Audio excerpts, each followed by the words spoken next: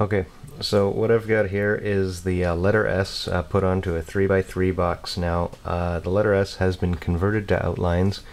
Uh, so what I'm going to do is I'm going to take this box here, make sure that the uh, color is zero, and I'm going to use the box tool and trace off a box in the exact same shape as my page, 3 inches by 3 inches.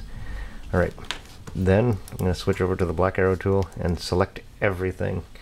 Uh, once I've got everything selected, I'm going to use my Pathfinders tool and I'm going to divide. I got that divided, so what I'm going to do now is I'm going to use my white arrow tool and I'm going to take the part that I want to delete. First I'm going to click off, then I'm going to select that part there, and I'm done.